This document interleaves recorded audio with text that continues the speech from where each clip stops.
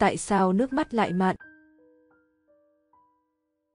Câu hỏi vì sao nước mắt lại mặn, tưởng chừng dễ nhưng lại khiến bao người phải đứng hình vì không biết lý do.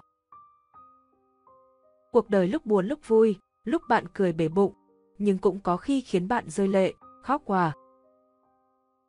Thế nên, ai trong chúng ta cũng từng nếm vị mặn của nước mắt. Nhưng vì sao nước mắt lại mặn thì bạn có biết không? Phải chăng nước mắt mặn là để có thể át đi được vị đắng cay trong lòng? Khoa học đã đưa ra lời giải thích khá thú vị cho thắc mắc tưởng chừng ngớ ngẩn này. Lý do khiến nước mắt mặn là vì nó chứa muối. Ngoài muối, nước mắt còn chứa các hóa chất hữu cơ và vô cơ khác như lipid, lysozyme, mucin, lactobhexin và enzyme. Ngoài việc giúp ta biểu đạt cảm xúc, nước mắt còn giúp chúng ta bảo vệ mắt trước bụi bẩn gây bệnh. Muối này không phải do ai cho vào, mà chính cơ thể chúng ta tạo ra.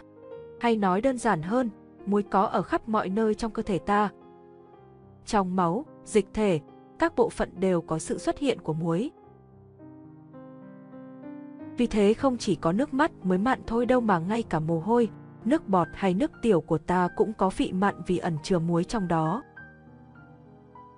Cần phải nói rõ hơn một chút, nước mắt không hoàn toàn vô dụng, thay vào đó chúng như một chất bôi trơn giúp mắt không bị khô. Ngoài việc giúp ta biểu đạt cảm xúc, thì nước mắt còn có nhiệm vụ quan trọng hơn, đó là bảo vệ mắt khỏi sự xâm hại của vi khuẩn và vật lạ, có tác dụng diệt khuẩn và khử độc nữa. Một thông tin thú vị dành cho bạn đây. Mỗi người chúng ta sản xuất ra 300ml nước mắt mỗi ngày, tức là khoảng 113 lít nước mắt mỗi năm đấy. Và nước mắt thì không chỉ có một loại đâu mà chúng có tới tận ba loại. Đó là nước mắt nền, nước mắt phản xạ và nước mắt cảm xúc. Mỗi loại có chức năng khác nhau và đều vô cùng quan trọng ngang nhau.